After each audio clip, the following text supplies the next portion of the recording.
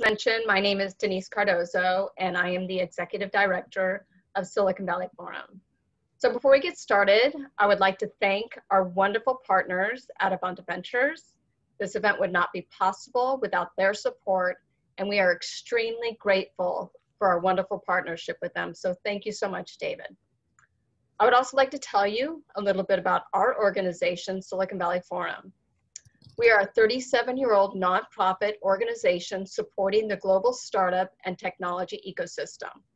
We organize over 50 or so events per year, including innovation programs and boot camps for startups and executives, technology programs and conferences, including our upcoming Women and Tech Festival, which, you will, which we hope that you will support by going to our website and purchasing a ticket. We also do program series for entrepreneurs, women in STEM, and always with a focus on diversity, equity, and inclusion. And if you want to find out more about our many other programs and events we do, as well as sponsorship information, please visit our website at siliconvalleyforum.com. We are also a proud division of the Silicon Valley Organization, or the SVO for short. They share the same commitment for business, startup, and technology community, bringing together leaders and influencers. They are a catalyst for business growth and a champion for a stronger community. We offer many resources and programs to educate and support your company and startup. So I encourage you to find out more about them, membership opportunities, and the incredible work, incredible work that they do at the svo.com. And if you have any questions about how to be involved in either organization, I will put that contact information into the chat box. And we hope that you really do want to be involved with us. So we have some incredible speakers um, joining us today from Delta Airlines, Beep, Zipcar, and Passport as we discuss what the future of transportation will look like in a post-COVID-19 era. Leading the discussion is our moderator, David Lee, who is a principal at Avanta Ventures. So David, I'm going to turn this over to you now, and thank you so much. Awesome, thanks Denise. Um, first of all, super excited to be co-hosting this event with uh, Silicon Valley Forum, and thanks everyone um, for joining us today. Uh, as a quick intro for those of you who don't know us. Uh, Avanta Ventures is the venture arm of CSAA, which is one of the insurance groups within the AAA ecosystem. Uh, we're largely focused on early stage Series A venture investments across a couple of key verticals around mobility, insure tech, and some adjacent spaces. Uh, we also run a venture studio program here at Avanta where we'll work with earlier stage seed and pre-seed stage companies uh, I sit on the investment team here at Avanta Ventures, um, spend a lot of my time uh, nerding out about all things mobility, um, which, as many of you uh, on this call know, is an industry that's experienced um, a substantial amount of change, right? Pre COVID and now with COVID. That pace of change is only continuing to accelerate. Um, so I'm super thrilled to be joined here by our amazing panel. Uh, and, and rather than not doing their backgrounds enough justice by me giving the introduction. I'm going to invite our four esteemed panelists here to introduce themselves. So um, maybe we'll just kind of go down the line here, but uh, could you share a little bit with our audience, um, a little bit more about your background, about your companies, and kind of what you're focused on as well? Scott, since you're unmuted, I'm going to go with start off with you. Absolutely, David. Good afternoon uh, to all those in the West Coast, and I saw Peru is on board as well. And so, thanks for thanks for joining. Uh, really uh, pleased to be here. And uh, my name is Scott Santoro, as David said. I'm the vice president for Los Angeles and West Coast sales for Delta Airlines. Hopefully, um, you've experienced Delta in your time uh, before, but uh, just you know, pleased to be here and look forward to answering your questions.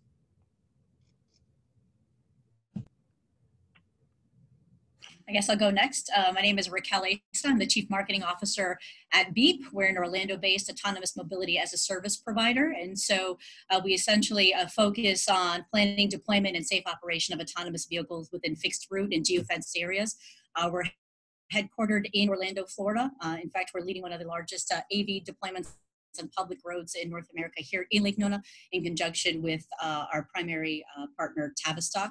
Um, we've also done a number of deployments as well throughout the state of Florida and happy to answer any questions about that. We'll go next. Hi, everybody. My name is Bob Youakim. I'm the CEO of Passport. Uh, Passport supports um, over a thousand cities in North America and in the UK, primarily around transportation software that delivers an operating system that uh, manages interactions with the curb. So think about anything in um, parking, loading zone, electric vehicle, and, and in the future, autonomous vehicle. Um, and on the flip side, compliance to those rules and regulations on the curb. So if you ever got a parking ticket on your windshield, apologies for that. That's probably our system. Um, but it all goes to creating more livable and equitable communities um, that we all uh, move around in. So looking forward to providing that perspective here uh, today uh, on the panel. Thank you. And maybe I'll just jump in. Hi, everyone. My name is Sabrina Sussman, uh, and I oversee all public partnerships, public policy, and communications at Zipcar. Uh, you may have heard of Zipcar. We are a not so young um, startup now of 20 years. Um, that's how long Zipcar has been in the car sharing business. So since 1999, um, we are sort of the world's largest and leading car sharing entity, and we specialize in fleet owned vehicles that travel round trip. So you pick up a car probably at the curb using passport technology uh, that the city's been investing in. You take it away for an hour, up to two weeks. You bring it back. Um, gas, maintenance, insurance, and all those hassles about car ownership are on us.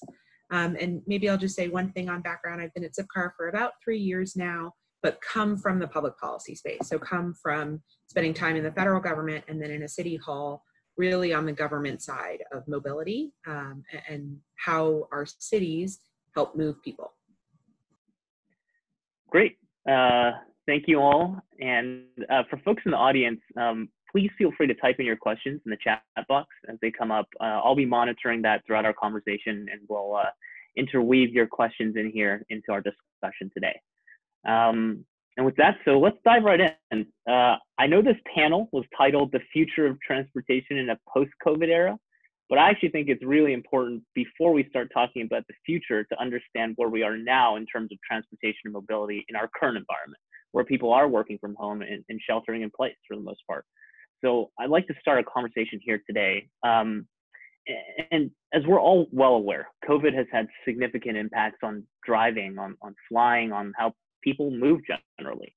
Um, so for our panelists, first question, you know, as each of you kind of look at your respective businesses pre-COVID to the initial lockdown to now, how have things changed uh, for your companies and what are some strategies that you and your company have, have taken to adapt to this disruption, at least in the near term?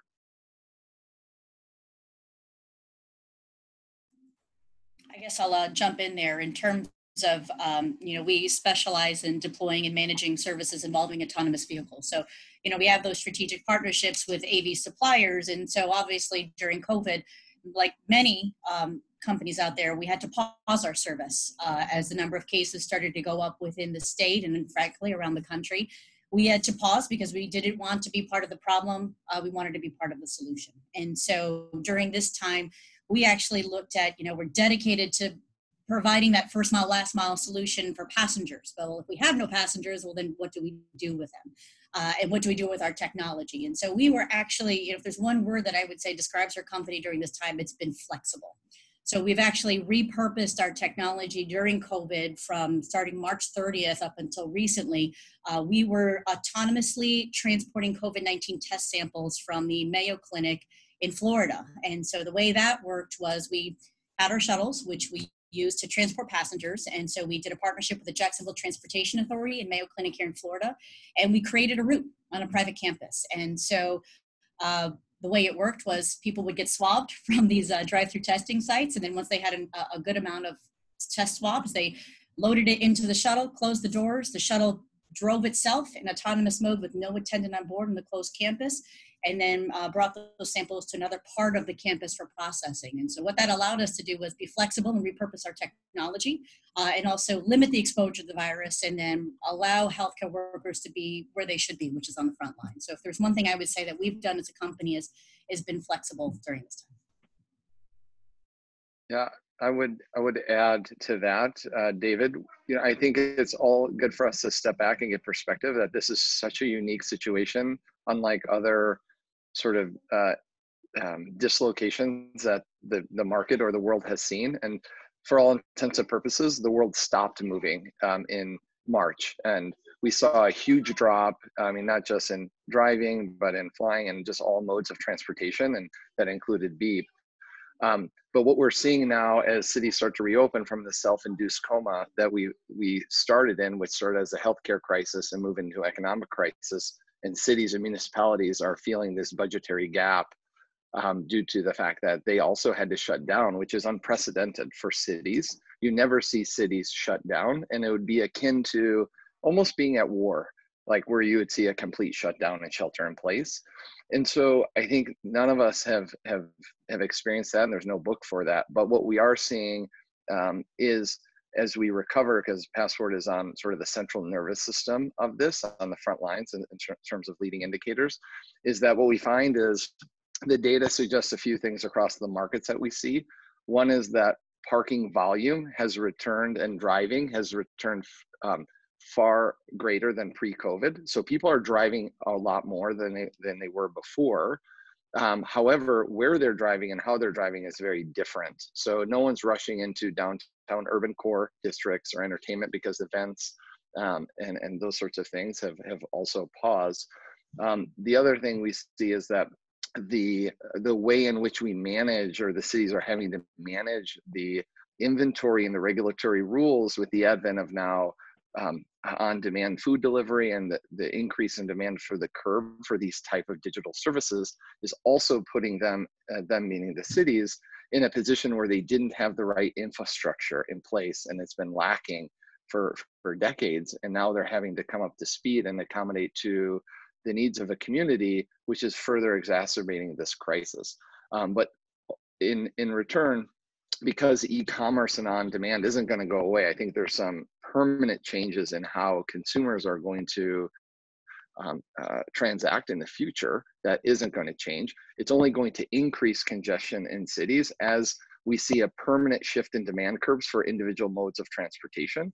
Um, no one's really rushing to get on mass transit or um, uh, those types of modes unless you're an essential workforce, which means that it's only going to further um, require additional policy and regulation to help and manage some of these aspects. But um, overall, the the market is recovering from a from a movement perspective as things loosened up. It's it's just we've changed in the behaviors of how we're uh, we're moving throughout those communities, and I think that's gonna that's gonna stay um, at least in our model. You know, we uh, I'm curious what other folks have done, but we have shut down our workforce coming into the office through July of 2021.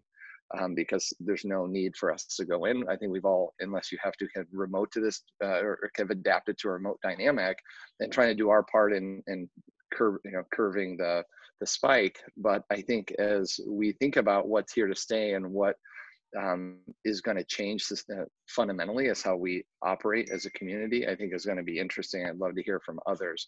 But I think that's that's a challenge for cities and an opportunity for all of us coming out of this crisis to how how can we use this shift to um, best solve some of those existing gaps and some of the new ones that have been exposed uh, as a result of this.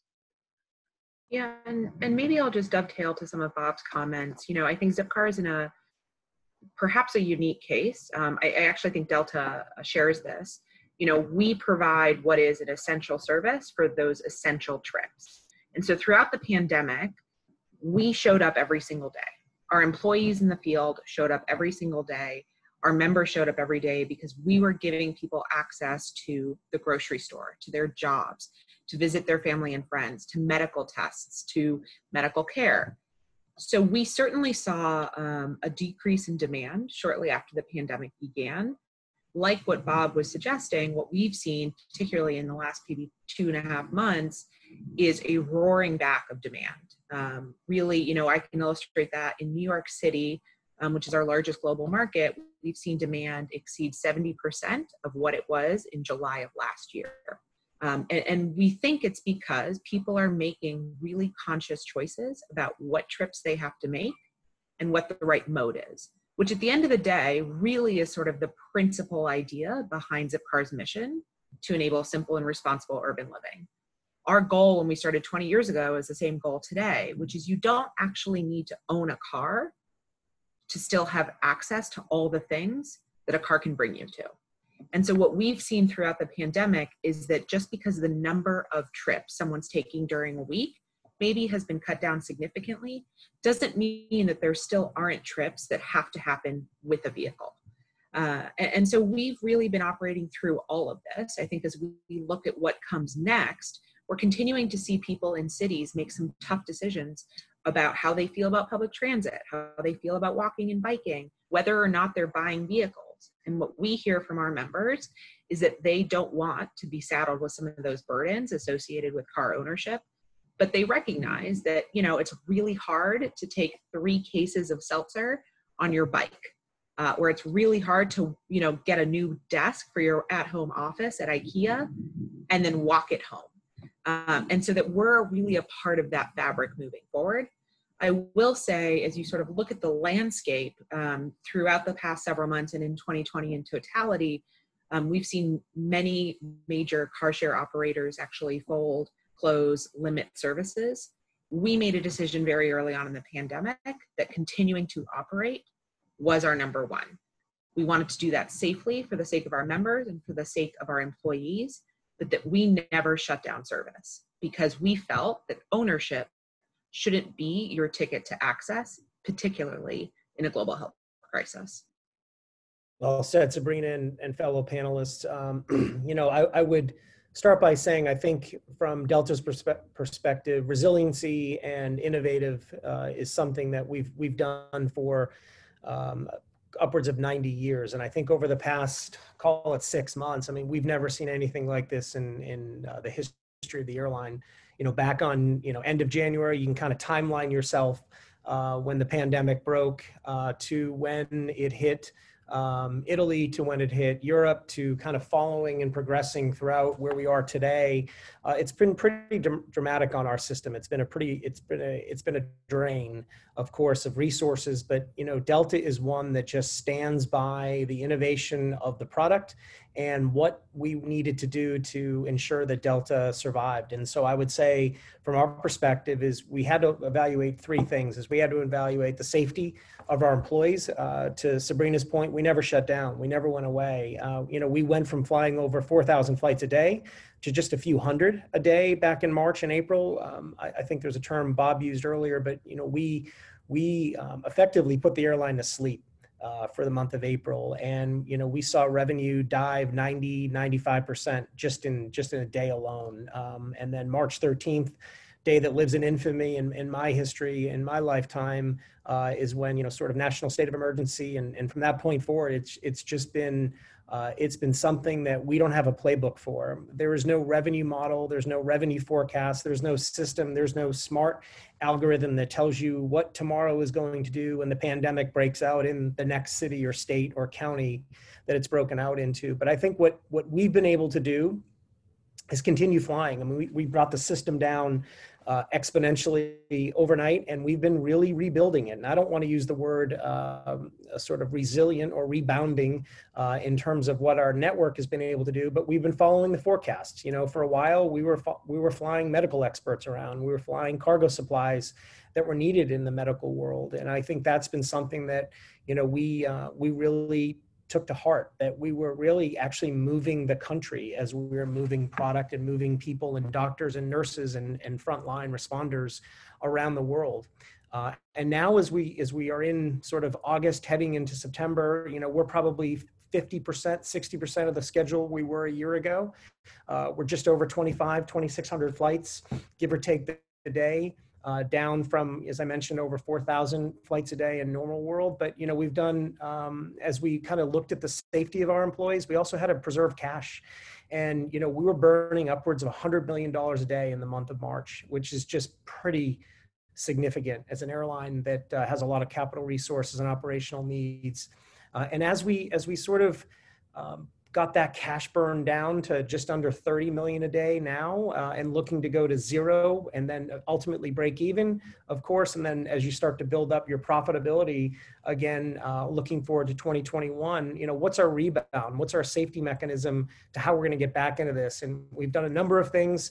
Many of you have heard about uh, working with our great partners through the port authority through tsa we've been able to really focus on a curb to claim uh, focus where you know cleanliness is the new thing and delta care standard as we call it is ensuring that we have sanitization throughout the entire process. We're also blocking every middle seat uh, on the aircraft limiting load factor caps uh, as well as really just focused on sort of electrostatic spraying of the cabin uh, and ensuring the health and well-being of every customer and employee that that happens to come in, in contact with travel and uh, all of those in, in uh, three minutes or less are pretty much what we've been doing for the past six months or less.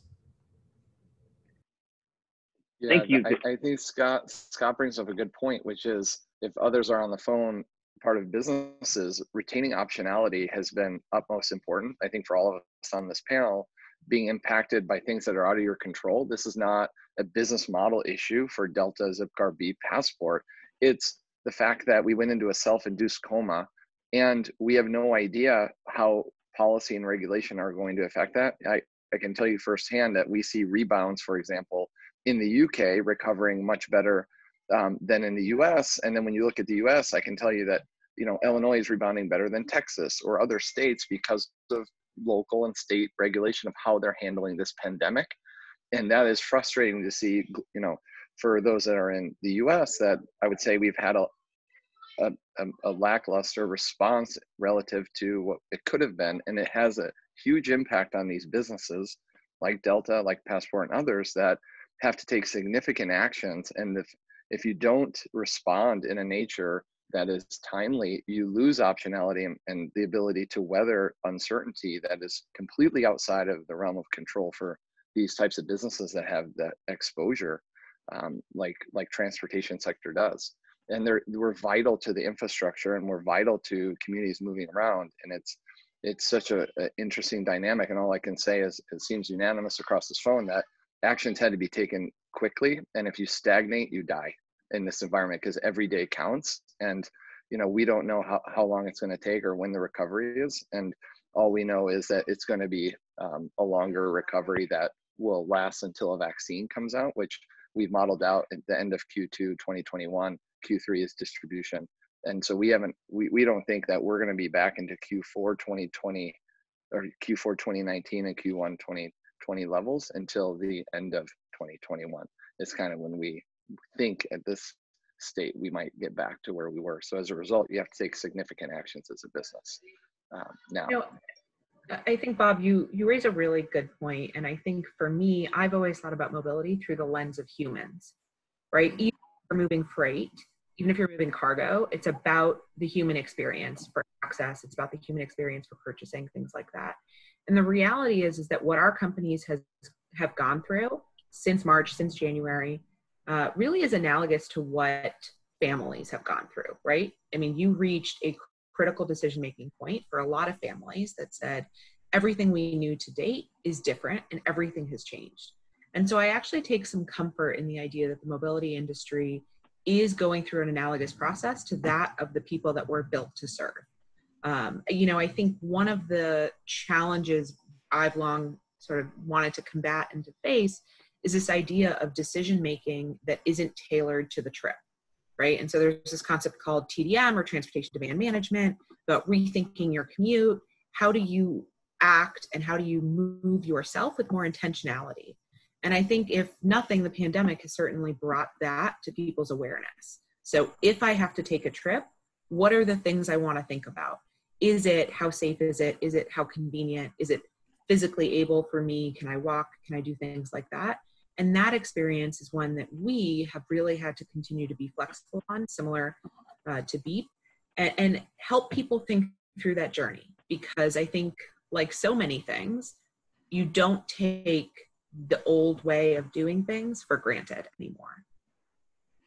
I would totally, you know, some of the things that Scott and Bob and Sabrina are just echoing. I feel like you have been a fly on the wall in, in all of our leadership you know meetings because it's you know you're right and i know it's it's been said over and over again but there really is no playbook and to be quite honest what we did last week might not apply to what we have to do this week.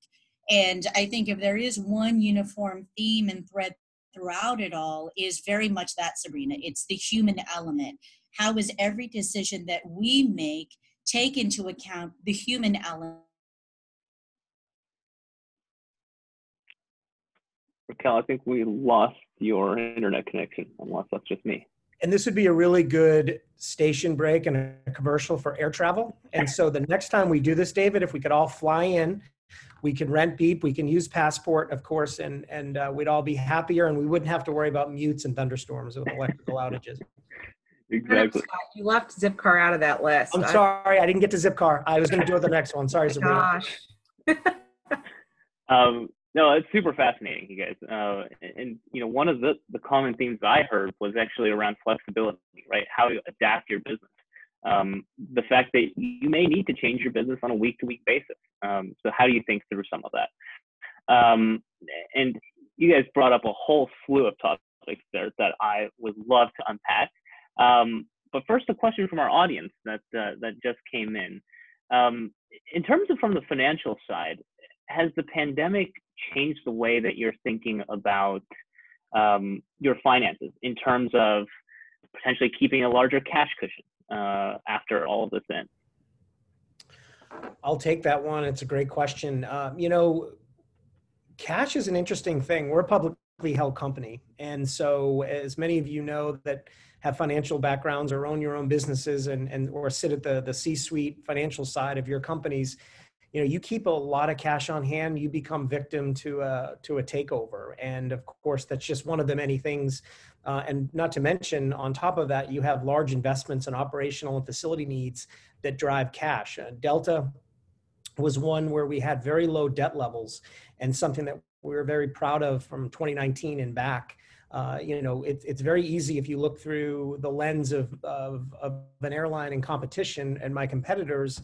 Uh, there are differing degrees and theories of what should be the right debt level. And, and what Delta was able to do uh, is take our assets that were, were fairly um, open or, or owned by Delta, and we were able to sort of use those for collateral for loans and, and to, to drum up cash in that respect, uh, which allowed us to do the investments before and pre-COVID that really enabled um, us to redo airports, to buy airplanes, and, to pay our employees industry-leading wages. It's just really been an interesting um, sort of dichotomy events of events, if you will, that I think we'll go back and look at sort of where we were from a cash level perspective. But we were we were very satisfied with where we stood um, come you know as the as the pandemic came into play in March, and even so much uh, as we came out of it or into the summer rather from a cash burn perspective and decrease decreasing that cash burn.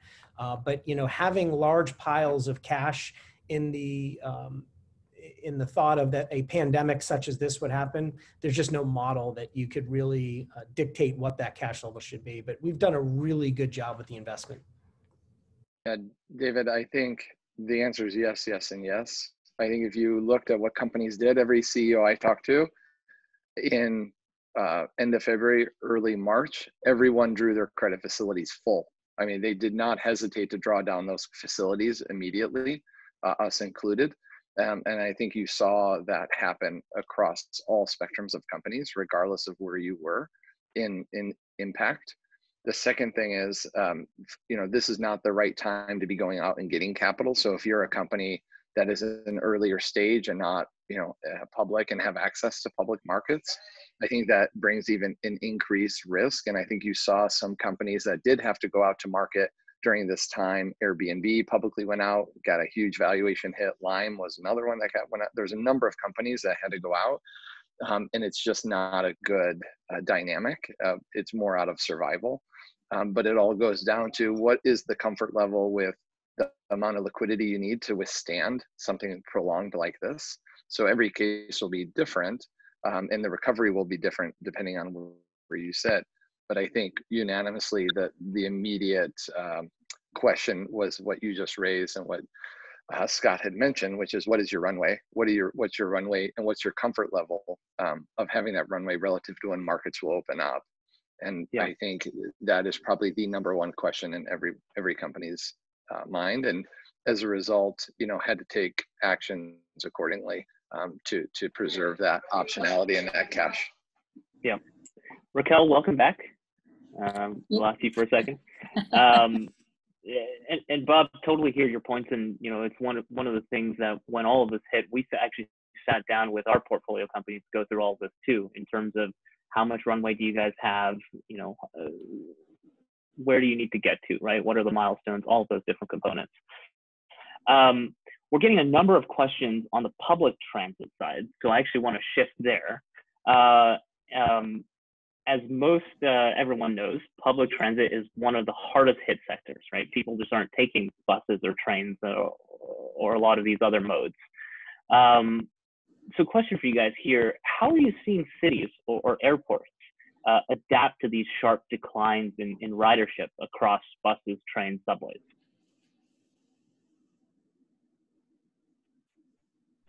So maybe I'll just jump in here. I think, you know, there's a couple different issues that I'd love to segment out with this question. Uh, I think that we cannot underestimate the impact of the changed workplace and commute on public transit, right? And, you know, so listening to folks talk about whether they've closed their offices, you know, indefinitely or whether they've closed their offices through June of 2021, those are 10 trips a week for the average American worker who works Monday through Friday that they're not making. Whether they used to make it on a bus or on metro or in their own personal car, that's 10 trips a week that now really don't have to happen. Um, so I think when we talk a little bit about volume, there's some grand questions about when does that start to return? If more and more companies say that we don't need you in the office until June of next year, what does that mean for projections on ridership and things like that?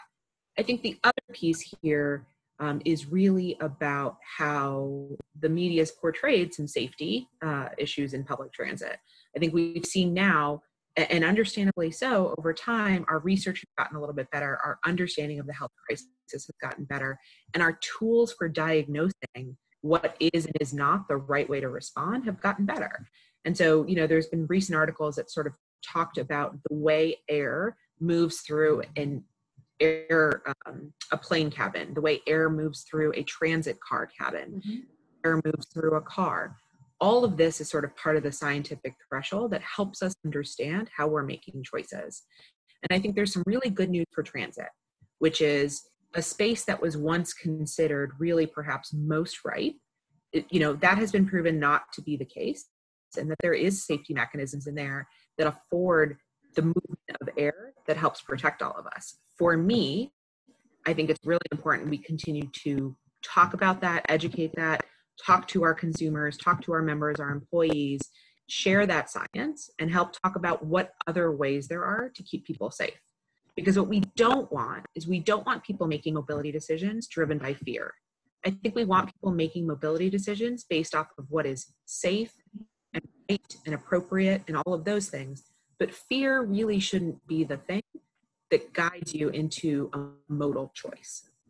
I would, uh, Sabrina, uh, sorry I dropped off, but you know, the, the beauty of, of work from home and bandwidth, right? So, um, you know, it kind of goes back to when I, I dropped off, you know, we have had, uh, you know, as a mobility service and as, you know, with autonomous shuttles, we have made some of the very adjustments that people have ex- come to expect now when getting on um, a mode of transportation, right? So, you know, when you look at each one of our shuttles, we made the conscious decision to um, take that responsibility away from our staff on board. And we know firsthand that we're not in the business of doing a sanitation of a hospital what's needed to combat COVID 19. So we made that decision early on. And so we've actually done a strategic partnership with a third party company that sanitizes hospitals to ensure that that same process is then instituted onto our shuttles. Uh, and then each one of our shuttles too has a hand sanitizer dispenser. It's easily accessible before anybody touches anything. Much like Delta, we have a no mask, no service policy. Um, and then we also have disinfectant wipes on each one of our shuttles as well. So it's about making pe- the, the things that people have come to expect readily available so that they do feel comfortable coming on board and that they realize that we're not cutting corners uh, and, and anything Well, like well that. said, Raquel. And if, if Bob, if you don't mind, I'll just jump in and, and uh, continue to go. I mean, I think you just have to look at the circumstances that are before you. Um, if you told me uh, March 12th that uh, within 30 days, Delta would have stood up an entire new division called Delta Clean Standard, uh, put an entire fleet of personnel within that team, and we'd be mandating face masks at 100% requirement. I mean, you walk in the door of an airport, uh, and again, through our partnership, not only with the San Jose Port Authority, but every port authority uh, in the United States, and we are mandating masks. We are handing you Purell wipes as you're walking through the terminal. We're actually, we have uh, dozens and dozens of hand sanitizer stations before you even uh, get through the TSA. And then all the work that's being done on board with electrostatic spraying. In the month of March, you know, we went out and sourced, unbeknownst that this would turn into multiple facets of pandemic uh, raging throughout the US and the world, but we went out and bought thousands of electrostatic sprayers that spray uh, effectively Lysol on steroids throughout our aircraft. Every aircraft, every turn, every day. Um, and then we went out and bought face masks. I mean, millions of face masks. So if you show up at an airport and do not have a face mask, we will provide you with one. But ultimately, where all this led, we weren't the experts in medical. Delta was not the doctor of of clean, cleanliness. We, we, we ensured our aircraft were sanitized and, clean, and cleaned every day, but we had to make this really safe for our employees and extremely safe for our customers. And so we partnered with RB and we partnered with the Mayo Clinic, who are telling us what to do and how to combat it. RB, the maker of Lysol for uh, centuries, if you will, uh, decades, and they're actually monitoring our process, making recommenda- recommendations. We don't do a thing without the Mayo Clinic telling us that this is right to do. Uh, and that recommendations are the middle seat block, uh, social distancing throughout terminals, social distancing as you're deplaning. We had a flight attendant that told us we really should be thinking about boarding back to front. And that was something, as many of you travel throughout your time, there's no way you would go tell a premium customer that they were going to board last. But why in the world would we want to board first class in the first rows and then have everybody else towards the back of the aircraft board after and stand in front of you? And so all of those things are through the rec- recommendation of experts, but also at the same time listening to your employees, customers, uh, and those that are really innovative in the medical space. I would add um, just one layer above that, which is public transit overall pre-COVID was already declining in ridership and already had an issue with trying to, um, you know, validate the model to remain a going concern, frankly. Um, but I think the, the the infrastructure that's in place is is required, especially in these very populated and densely populated cities. What is happening now post-COVID, in addition to the declining ridership that happened, is I think most companies are facing the fact that remote workforce in some way, shape, or form is here to stay, whether we like it or not. It's like it's a it's now a benefit and accommodations that the the team and the employees expect. So with that is going to come a sprawl and urbanization of where people live. The value proposition of living inside the city isn't the same anymore. Mm-hmm. So then it puts a further onus on why folks like Zipcar and Beep and others are going to need to extend the tentacles of what was existing public transit because it's not going to meet the needs of sort of those communities as they sprawl out. And the the I think the opportunity for private the private sector to come inside the public sector realm will will accelerate now more than ever. Um, and that's the likes of Uber as well as Uber, um, sorry, Lyft, etc that could offer an extension alongside Zipcar Beep, these others that are going to be needed uh, to accommodate a post-COVID world. And I think we just have to resign to the fact that the cleanliness factors are just going to be table stakes. I this is a, a, a pandemic that will shift just like 9/11 did, shifted how we travel. And uh, Scott can is, is, can speak more to that. But there were things that just stayed, and now we're accustomed to it. I think the the things that Scott raised and others raised are just going to be table stakes for for the broader transportation sector, and we have to look at what's going to be the systemic change that we have to think through of how people are going to be moving around and how public transit fits into that value chain. Yeah, and I would think my, my panel, oh, sorry, if, uh, was that Sabrina? You want to go or Raquel? No, that's me. Go ahead, Scott. Yeah. All I was going to say is, you know, this stuff is here to stay too. I mean, I think my panelists around the room would say, you know, post vaccine, we're not going to, we're going to stop cleaning. We're going to stop, you know, sort of mandating a lot of the things that we mandated. This is here to stay. I can say that from Delta's perspective this will be something that we will do every day from this point forward and i know my panelists as well will do that. And that that involves everything from temperature checking every employee that walks in the door that it's going to take care of a customer to plexiglass that's in front of employees. I mean all of this is, are things that to protect the public but also within cities and rural urban areas. Those will all i would say those are all here. You know i Bob and, and Scott, you know, to echo on those comments, and you know, I see how Zipcar and Beep, you know, other will all kind of fit into this community of the future, right? Post COVID, whatever that looks like. And so, you know, Bob, you bring up a good point of the shift of communities away from those congested city centers to more live, work, play communities, right? And so we've actually seen that shift as well, where you know we're we're headquartered and one of our deployments is in a live work play community. So we're actually seeing some of that traffic pick up more on a regular basis than i would say on a you know the traditional banker hours right? And so um, we're finding that people are utilizing our transportation in a different way giving up their car if they don't have to take a longer trip you know you know like you would do with a zip car. And so instead of taking you know their car to go to the restaurant, they're actually opting to take the shuttle because it's easier than to having to find a parking spot. Um, but because we have all those safety precautions in place, you know, they know that if they come on, it's no mask, no service.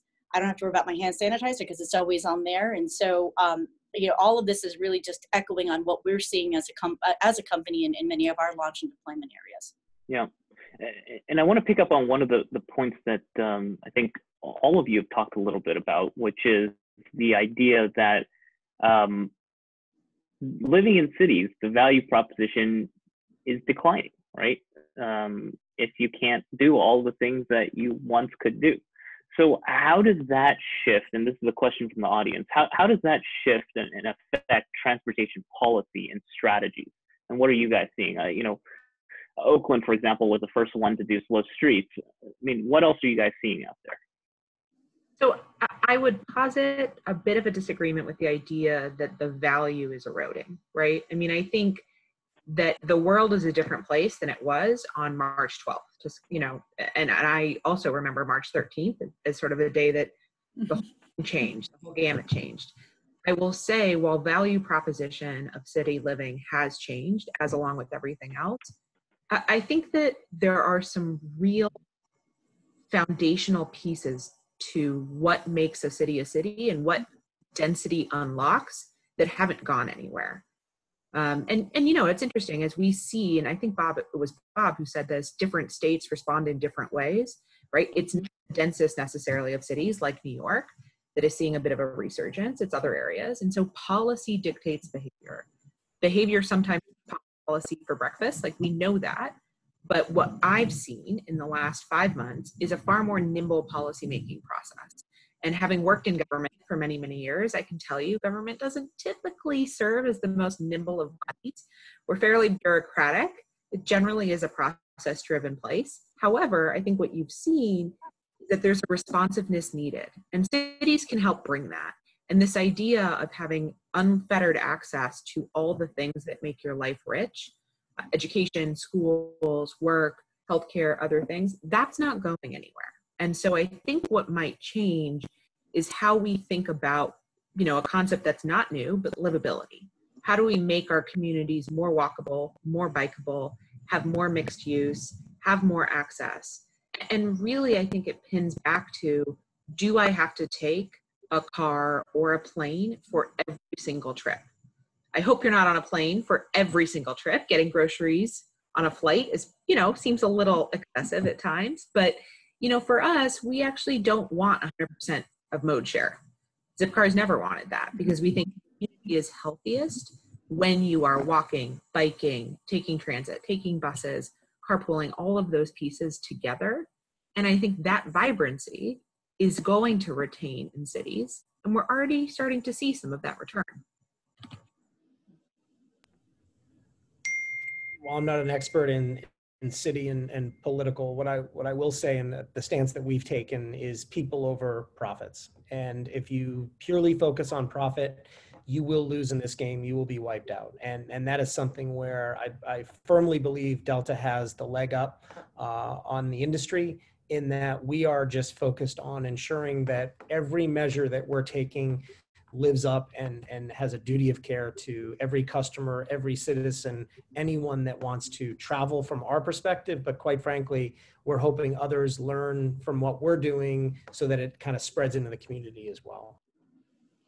You know, I think from a policy standpoint, if there's one thing that this pandemic has has shown is that um, you know you look at other countries aside from the United States, and they were just you know gung ho on a lot of things when it came to autonomous technology. They were deploying um, you know autonomous vehicles that UV streets you know um, and you know I, I, think you know we have had some conversations um, you know on how maybe we can have some sort of infrastructure or policy in place that can you know you know turn on in the middle of, a, of an emergency or a pandemic and so we don't get stuck in oh we can't do it because reg- we're not allowed to right and so um, i think that's one thing that we were able to prove during this time of that you know by launching that service over at mayo clinic is that we did it on a, uh, on a closed campus we proved that it was safe uh, you know we always stress safety but we proved it out and i think being able to have those proof points in times of pandemic can essentially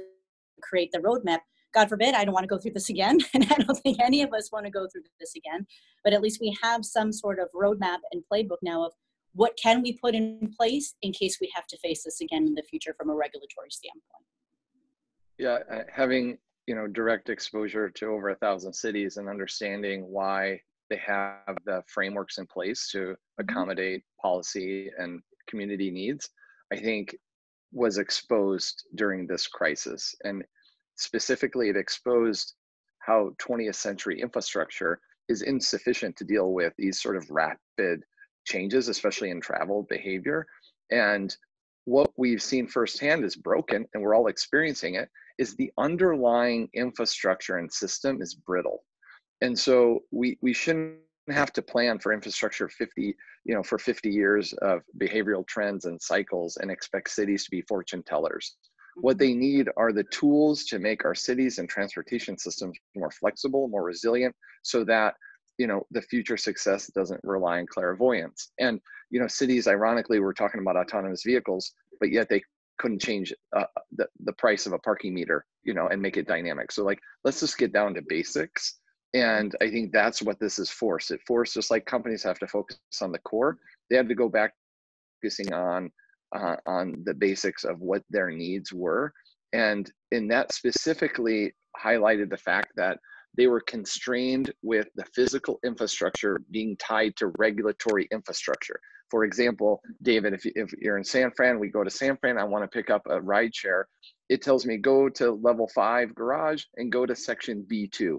Well, what's B2? Today it's where I'm going to pick up a car. Tomorrow B2 could be something else. But if, if you think about cities, you know, why you can go from Oakland to San Jose to San Francisco and be very different. You need a decoder ring to figure out are you compliant or not. It's because the, the physical infrastructure is tied to the regulatory infrastructure. And until you can decouple that and have an endpoint where you can make all these changes more uh, efficiently, where folks can consume that information and transact upon it, we can't even begin to think about autonomous vehicles and things that are going to really improve behaviors in the community.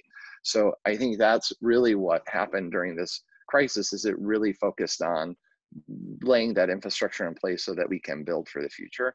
And mm-hmm. what what we expect to see is that uh, cities are going to start to get serious around their their procurement needs. Uh, and that was the other thing that held held them back. And I think uh, Sabrina mentioned it.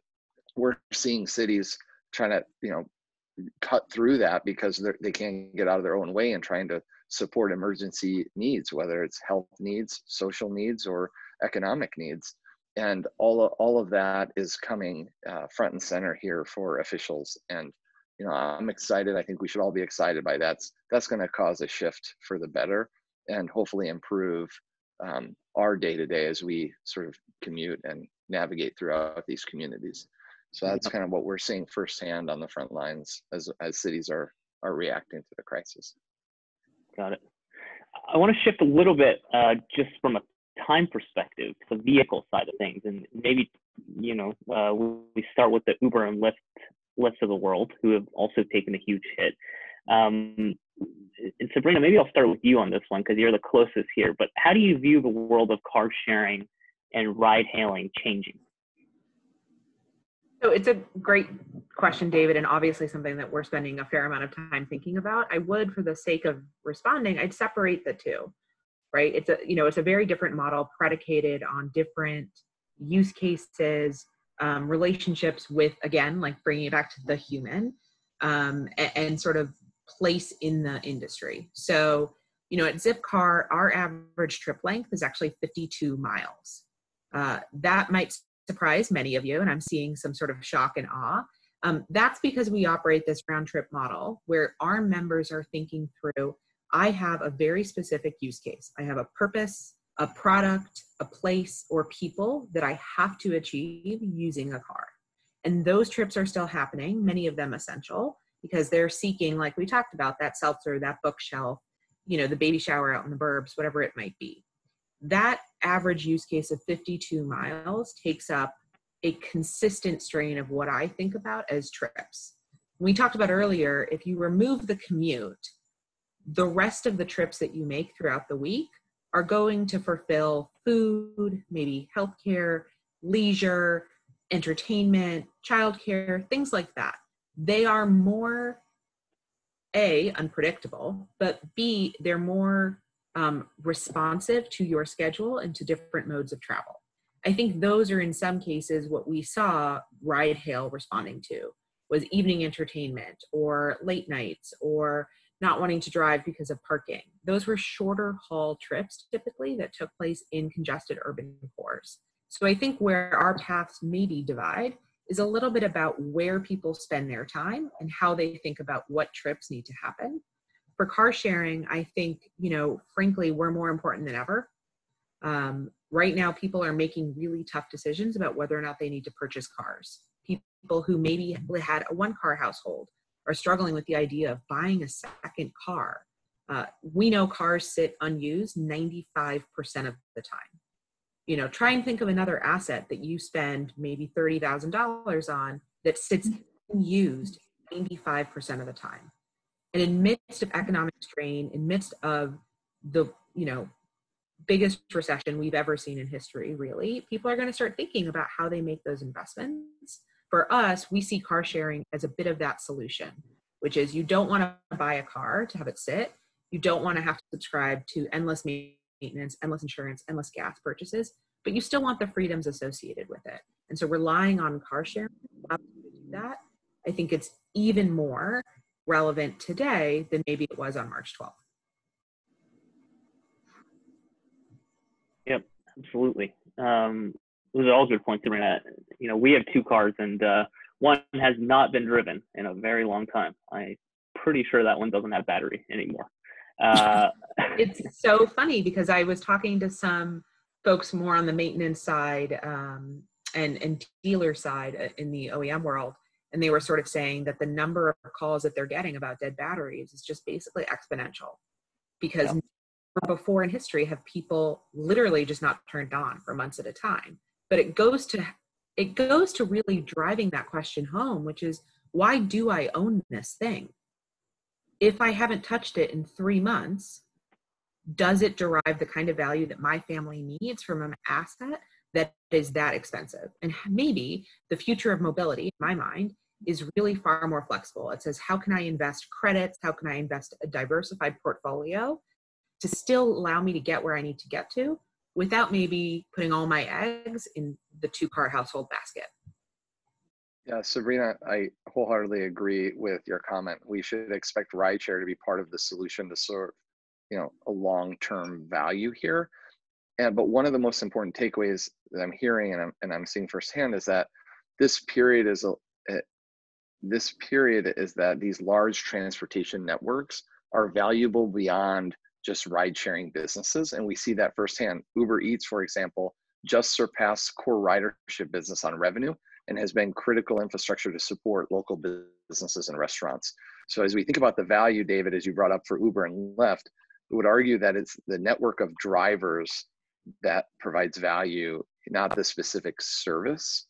And so as these networks like Zipcar, like Uber, like Lyft, as they continue to evolve, I think those networks are going to be integrated in the larger transportation of various services. And it's not just us getting around, but it's goods and services getting around. And I saw a question in the chain around, you know, cargo and all those sorts of other things. So I think you're going to start to see hub and spokes. And you just saw Amazon looking at, um, you know, going brick and mortar and taking some of those uh, mall fronts for distribution centers. So I, again, and I, I see that in off-street parking garages that were monthly parking garages going to be used as hubs for you know these sorts of types of services. So I think the networks are vital to how we're going to sort of operate in the future, and we're just going to have to think differently around how we use that asset base.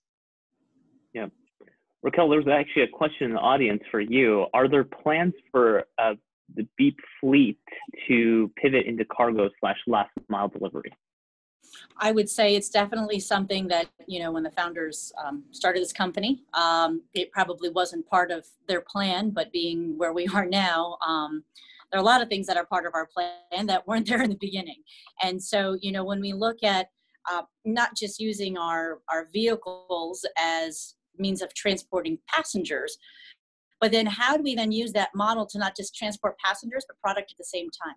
So you talk about repurposing and creating these hubs for uh, essentially i would look at as uh, essential pickup locations right? So you know essentially if you did have a, um, a parking structure or a, a, a drop off facility for amazon there's probably nothing stopping our company from picking up that package bringing it to the center of the community and then serving as a, as a centralized pickup uh, for packages for for quite frankly anything for even food service right? So when you look at um, where we would potentially do that absolutely. It's something that we are considering. Um, and this what we're also considering is how do we also then repurpose our vehicles to use them during times when we're not transporting passengers? And so if that's in the means of transporting goods uh, or potentially using the vehicles to provide some sort of roaming security uh, you know with this technology it's really endless at this point but i whoever asked that question yes it is something that we are deeply considering to add to our Great. our uses. Awesome.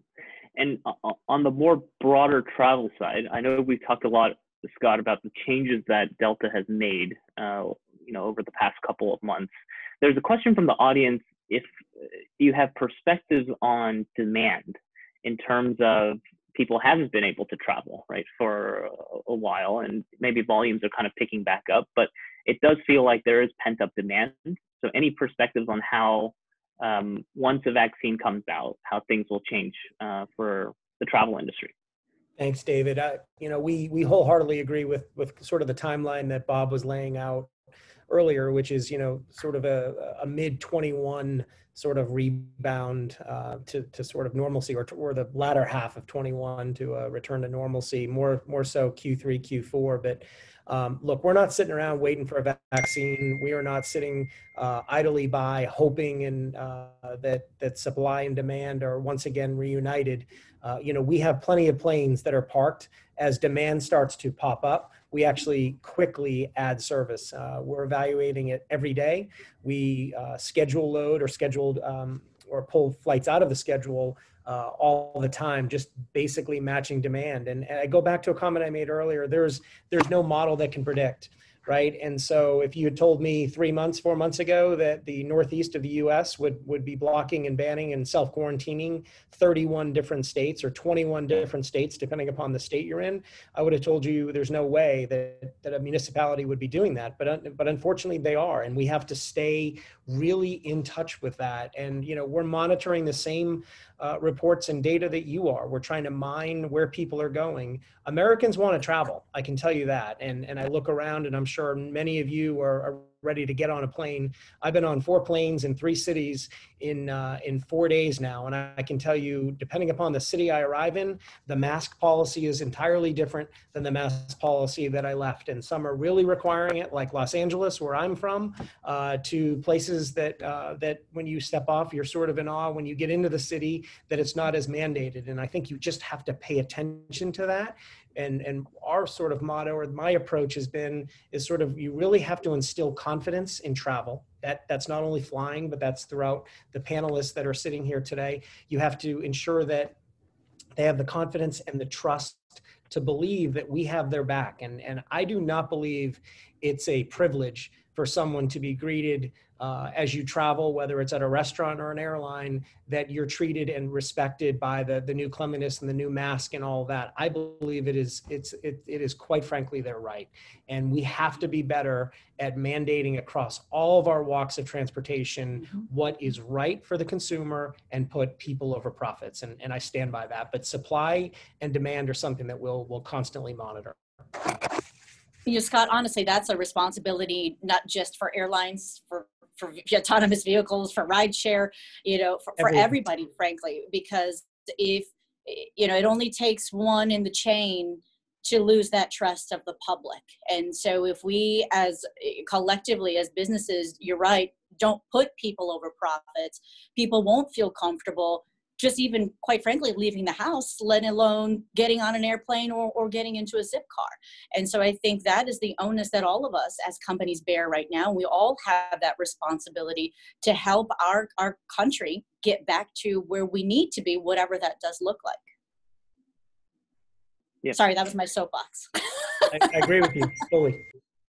That's great. And I, I know we're coming up on time here so and i also know that there's a lot of startup founders out there uh, so I want to end on kind of this last topic of offering maybe a little bit of advice on uh, you know how small companies and startups can work with larger corporations um, and how things have changed at larger corporations um, and how the stance on partnerships have changed. So maybe Scott and, and Sabrina, you know, has COVID changed the way that you approach innovation and or partnerships with startups? And you know what what what's some advice that you can provide? And then for bob and raquel you know have you seen changes with the larger enterprises? And what what strategies have you been using to for engagement there?